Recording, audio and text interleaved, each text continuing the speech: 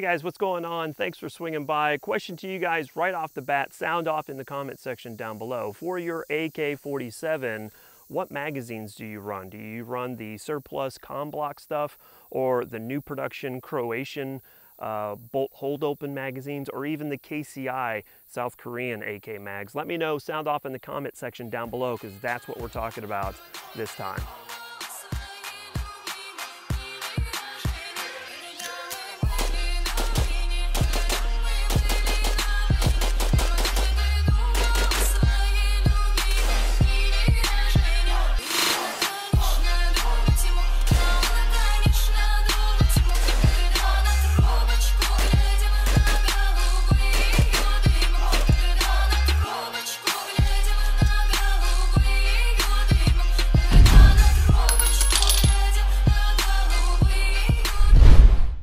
Hey guys, as always, thanks for swinging by. I sure do appreciate it. Uh, if you guys are interested in supporting the channel, I've got a number of different links down in the comment section down below uh, to include my website, Patreon, PayPal, all that jazz. If you guys are interested in supporting the channel, that'd be cool. Okay, so this time uh, we're going to be talking about the KCI magazines from South Korea. These are brand new production magazines and uh, they're relatively inexpensive. You can pick these up on a decent sale for about $7.99.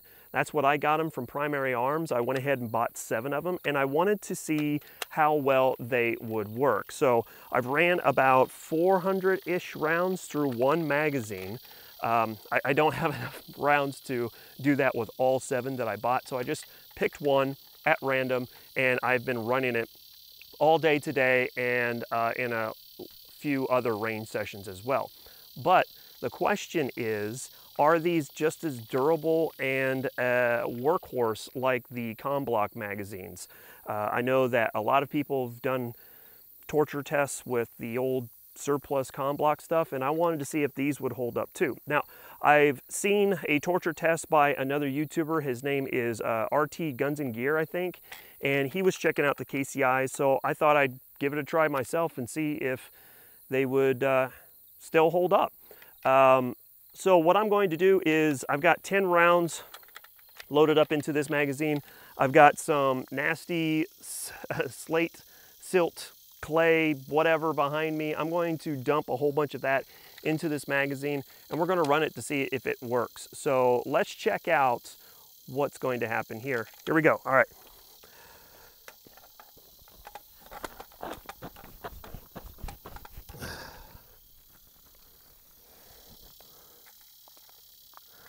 This stuff is uh, pretty freaking nasty. It's hard to get anything in there because it's so, so big. Make sure you guys can see this. Hopefully you can see what I'm doing. Was not anticipating getting dirty today at the range, but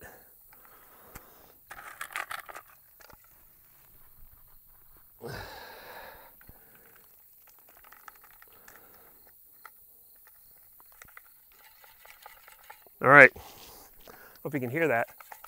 Got a lot of stuff in there. Let's see.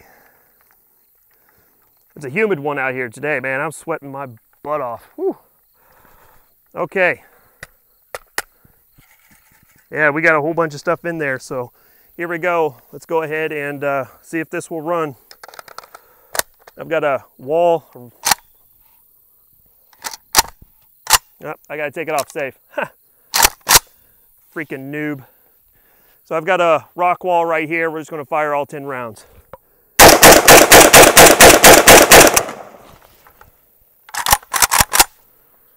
And it ran. You can still hear all the dirt in there, so we can take this apart and uh, see how well it ended up doing. I think we can get this done. There we go. So there's a spring. Looks like all the dirt got poured out. So you can see it's pretty dirty in there. I don't know if you can, I don't know if you'll be able to see it, but it's pretty freaking dirty in there. We'll definitely clean it out. needless to say, these are running really well. Again, they're coming in right about eight bucks.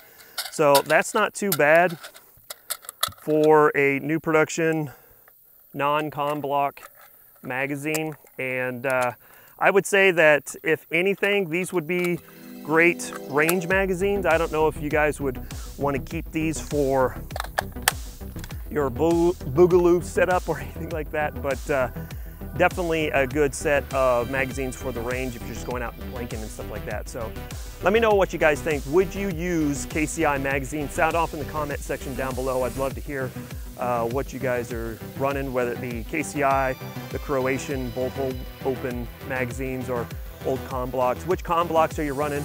And then of course, which AK are you guys running as well? All right guys, thanks a lot. We'll catch you later. Freedom through strength. Here comes a high five. Take it easy, y'all. Bye.